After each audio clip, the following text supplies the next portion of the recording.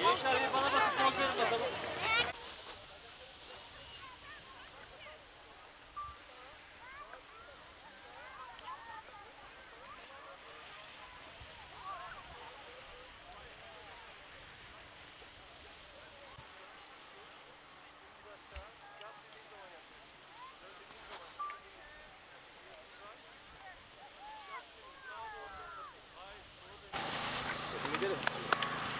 Nasıl geçti yarış?